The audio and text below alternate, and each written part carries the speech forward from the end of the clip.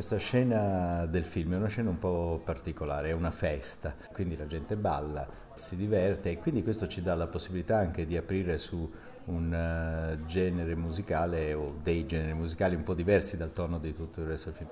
Bonsoir! Chi sono? Maria Antonietta, dopo la ghigliottina.